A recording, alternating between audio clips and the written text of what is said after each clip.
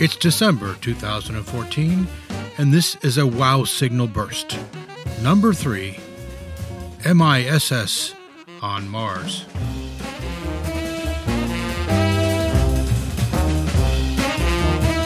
This burst is about a paper published last week in the journal Astrobiology by Dr. Nora Noffke, an associate professor at Old Dominion University in Norfolk, Virginia. In her paper, she notes some key similarities between microbial mats seen on Earth and certain formations in rocks on Mars seen by the Mars Curiosity rover. And I'm just going to let her tell you the rest of the story. I'm with Dr. Nora Noffke of the Old Dominion University, and we're discussing her recent paper in astrobiology ancient sedimentary structures in the less than 3.7 billion years ago Gillespie Lake member Mars that compare in macroscopic morphology, spatial associations, and temporal succession with terrestrial microbialites. You've written extensively and even have a book out on microbial mats that are found all over the earth. My understanding of your bio, you've been all over the earth looking at, at these things and other things like it.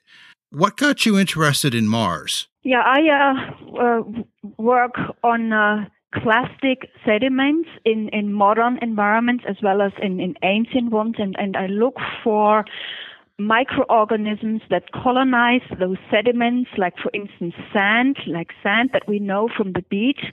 So I take a look how those microorganisms colonize those sands and how they interact with sedimentary processes, how they interact with erosion, with the position of sediment and so forth. And then what kind of structures are forming in those clastic sediments. So why is this important for, for Mars? Um, those sedimentary structures that are organisms in clastic sediments occur in the fossil record as well. That means we find fossil structures in very, very old rocks, in Archean rocks on Earth, in rocks that are beyond 3. Uh, uh, uh, 5 billion years old. And of course, if we find those structures that are made by microbes on, on an ancient Earth of that high age, um, we might find those structures on, on Mars as well in rocks of similar ages. And that means if we find structures like that, that there were microbes on Mars at that time as well. And that's what this paper is about, where I describe structures that resemble very strongly um, those microbial structures we know from Earth. Now, your paper talks about something called an MISS. I, is that is that essentially what you just told us about? It was uh, the MISS is a, a, fossilized microbial structure. Exactly. Yeah. So MISS is the abbreviation for microbially induced sedimentary structure. That's this group of sedimentary structures that is formed by those microbes. Yes, that's correct. And we see these all over the, all over Earth. Yeah, those structures um, occur basically everywhere where we have microorganisms colonizing clastic sediments, and the most prominent ones are those. Um, uh, structures that are made by photoautotroph cyanobacteria. That they are very, very common. They occur everywhere along the shorelines of the oceans, in coastal zones, in shallow shelves, um, tidal flats, lagoons, along rivers.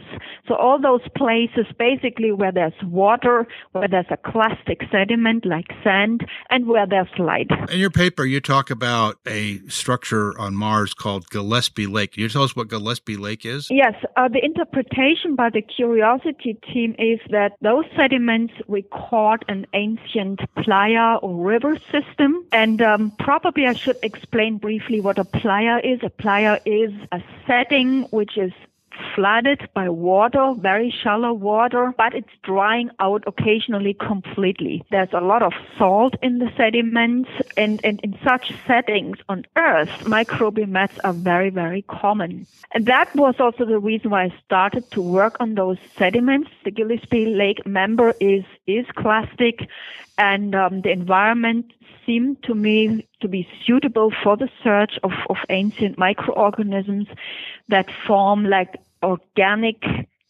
carpets, like really thick layers um, on top of those sediments, and and that's that's how, how I got interested in in this rock uh, succession now, could, on Mars. Could you mm-hmm. describe to us uh, the similarities you see between uh, Gillespie Lake and a terrestrial MISS. Mm-hmm. Those microbial structures are very, so if you think of stromatolites, which are very well known, those are boulder shaped, up domed structures that, that are made by um, bacteria we, we know them also through the entire Earth history until today.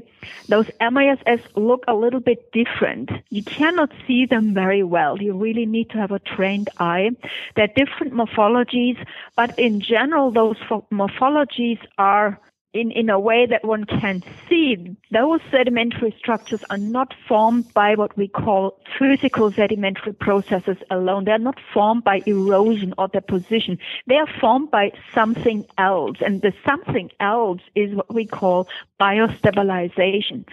If you have a lot of microorganisms assembling on top of a sandy surface, they form what I said before, an organic carpet. And I really mean carpet.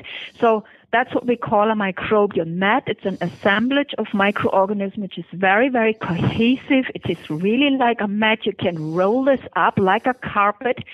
Um, and, and of course, if you have something like that growing on the surface of a clastic deposit, that affects erosion, which means water that crosses the sand cannot erode the sand away anymore, and a certain sedimentary structure is formed.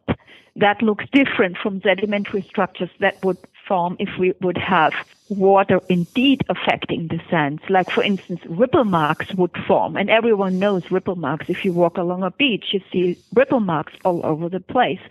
Um, so they are very distinct. One needs to have a trained trained eye to see them. What do you see in the, that sandstone in Gillespie Lake? Does that remind you of a microbial mat?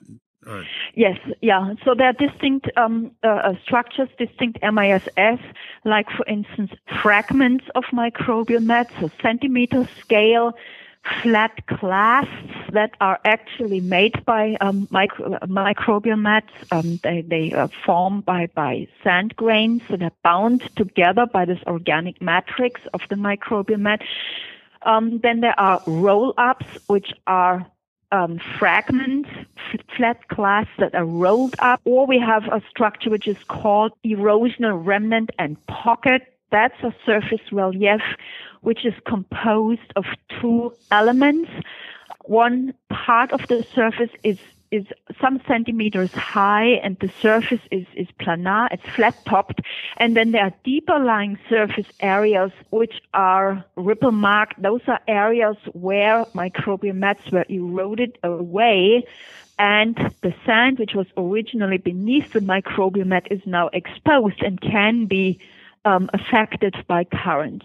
So those are the things that, that I see on the Gillespie Lake um, member, and, and that's something we, we know from Earth as well.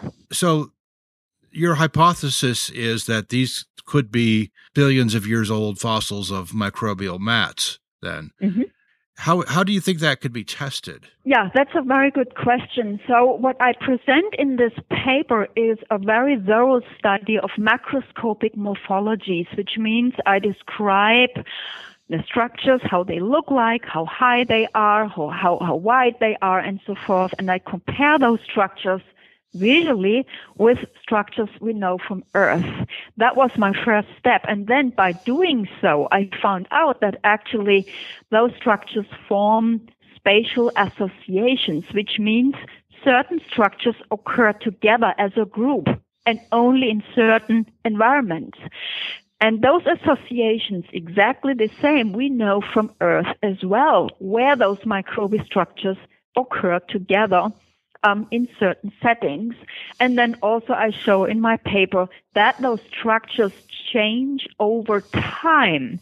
That means that the micro, the microorganisms that formed those structures originally were affected by a change in the environment and specifically the, those structures record that the playa lake was first present and then it dried out over time. So I have three lines of evidence that I present in the paper and I said, well, but we need more, of course. I, cannot say I have images from Mars and I can conclude for sure that those are fossil microbial mats. So what I like, what, what I recommend for NASA to do to the Curiosity team is to do some geochemical and mineralogical measurements of the deposits in situ with the use of for instance, you know, rover Curiosity could do that with an um, X-ray spectrometer or with uh, the ChemCam and, and other instruments or the um, the sample analysis at Mars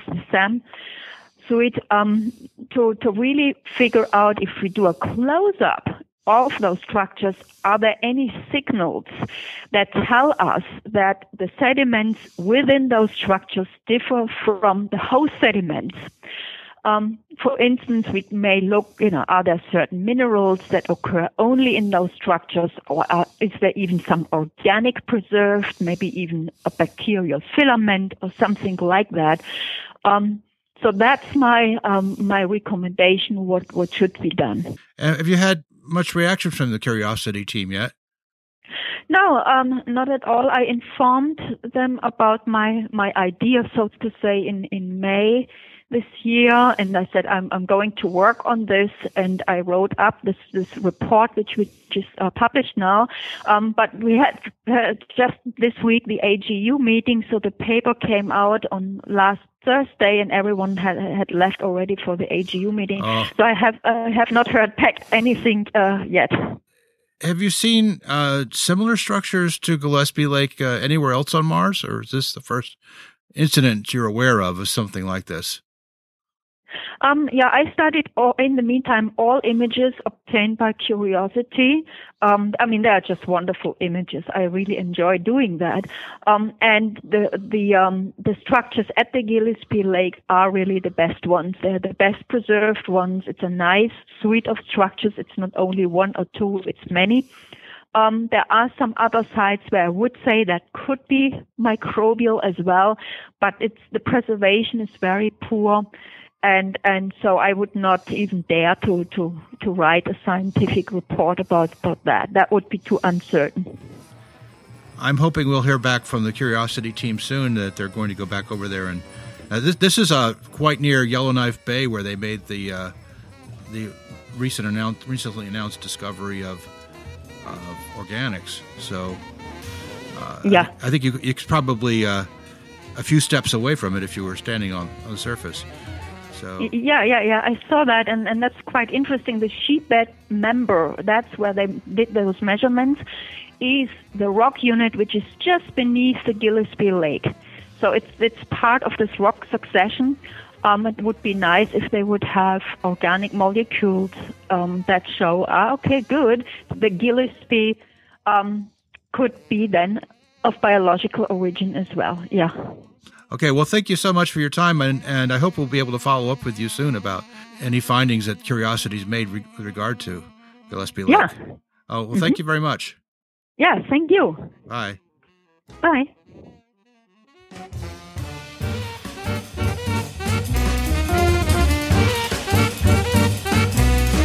This has been Wow Signal Burst 3. For more information, please go to wowsignalpodcast.com www.jason-robinson.com. Music is by Jason Robinson, used with permission. The Wow Signal podcast is distributed under the Creative Commons Attribution Share Alike license.